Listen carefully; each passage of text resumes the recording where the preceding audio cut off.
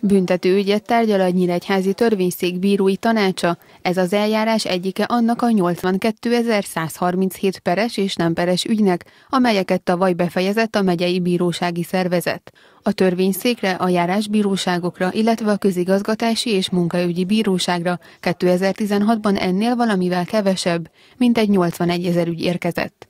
Csak nem 13 ezer ügy maradt folyamatban, ezeket még nem fejezték be a bíróságok. Nagy munkát végeztünk, hiszen az érkezett ügyek től meghaladó ügymennyiséget fejeztünk be, így a hátralékunk csökkent, az ügyfeleink időszerűbben kapnak tőlünk ítéleteket, döntéseket, a megalapozottságot tekintve pedig minimális azon ügyeknek a száma, amelyek egy hatályon kívül helyezés folytán ismételten az elsőfokú bíróságon folytatódnak. A statisztikák szerint a polgári peres ügyszakban a befejezett ügyek 87,4%-a, míg a közigazgatási peres ügyszakban a befejezett ügyek 93,8%-a fejeződött be egy éven belül. A törvényszék elnöke a bíróság létszámhelyzete mellett tájékoztatást adott az infrastruktúrális fejlesztésekről is.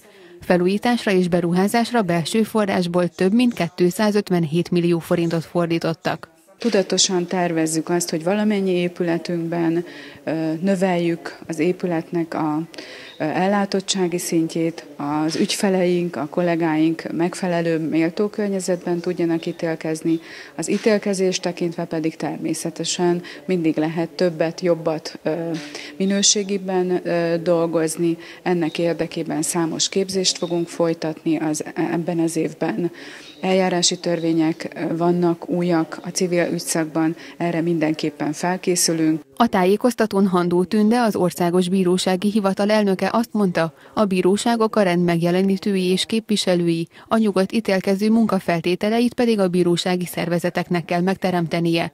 Szavai szerint bárkinek, aki a bírósághoz fordul, azt kell éreznie, hogy a bíróságon rend, nyugalom és biztonság van. A tárgyalóteremben a bíró magányosan dolgozik, tehát magára van hagyva, amikor ott valamilyen rendmondás történik, mert pedig a legszélsőségesebb esetek is előfordulnak, nem csak az, amikor molinót eh, bontanak, eh, kiabálnak a bíróval, székeket eh, és dobálnak időnként. Szerencsére egy nagy uniós projektnek, egy svájci projektnek köszönhetően nagyon sok biztonsági eszközt szereltünk be a, a bírósági épületekbe, tehát meg tudjuk azt akadályozni, hogy fegyveresek érkezzenek a bíróságokra, és képzésekkel segítjük a bírókat, hogy az ilyen helyzetekben tudjanak dönteni abban, hogy szigorúan, határozottan lépjenek fel, vagy többet tűrjenek,